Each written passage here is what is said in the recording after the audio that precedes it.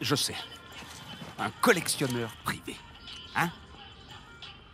Réfléchissez juste une seconde. Je, euh, je, comprends que vous avez des principes, et, et- et c'est très bien. Vraiment. Et je suis complètement d'accord. Mais on pourrait peut-être... Gâche pas ce beau moment.